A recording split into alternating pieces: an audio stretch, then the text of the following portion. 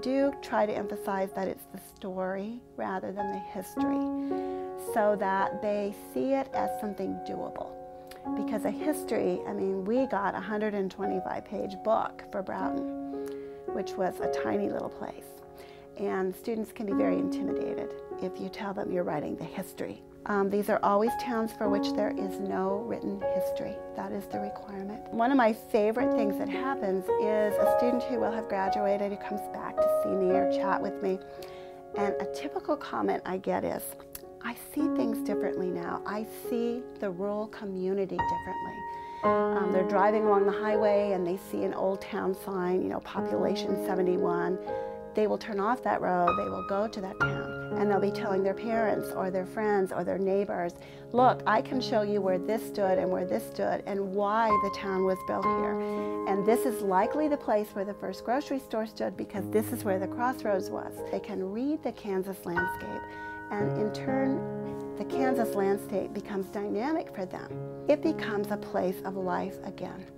The thing you won't like about this is I'm not sentimental about Broughton. I like the history, but I have sat back and watched the other little communities disappear as rag, as weed patches and stuff. Broughton went, when it went, it went clean. It was gone. There wasn't any, oh, that's my house I grew up in. I wished it didn't look that way. It wasn't there to be sorry over.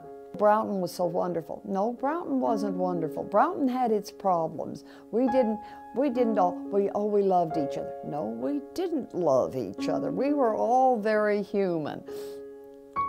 And as I said, I like the history. We all said, I'm from Broughton. We were all proud of our little jerkwater town. We, you know, we just about had enough people with it for a softball team, but we had a good team. And, and uh, we went to other small towns around, Green, Morganville, Oak Hill, Longford.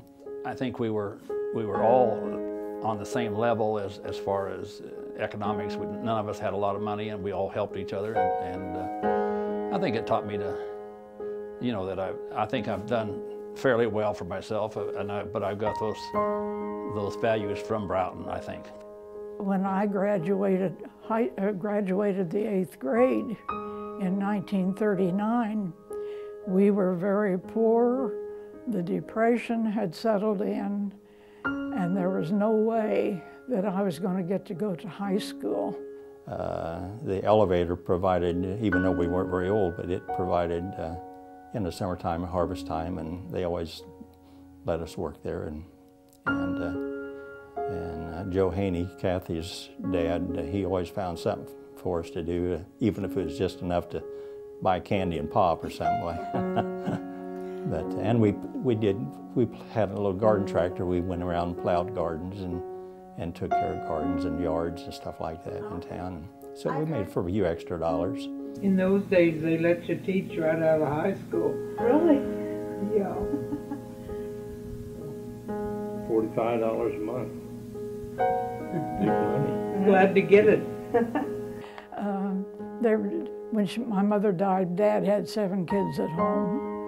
And then the older ones, one by one, as they could find work, they went out to work uh, in the homes, or the boys did uh, uh, farm work as soon as they could to help uh, raise money for their own expenses and so forth. I have, uh, I have a few pieces of glassware that are souvenirs of Broughton, and, and then I have uh, trade tokens. I have about eight or 10 of those that are from stores that were in Broughton probably back in the 20s, 20s and 30s.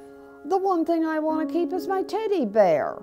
I got my teddy bear in 1943 for Christmas because there weren't any dolls available.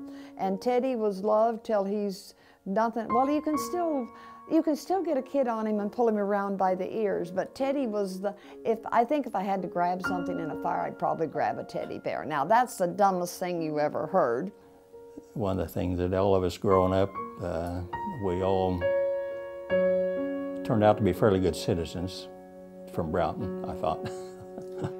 you can't go to your home.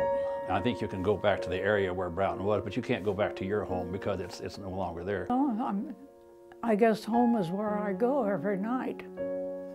No matter where I am during the daytime, I want to go home at night. It's nice to visit other places, but I want to go home where my clothes are. Uh, definition of home, I kept trying to think about that one. You can't go home. You do in your dreams.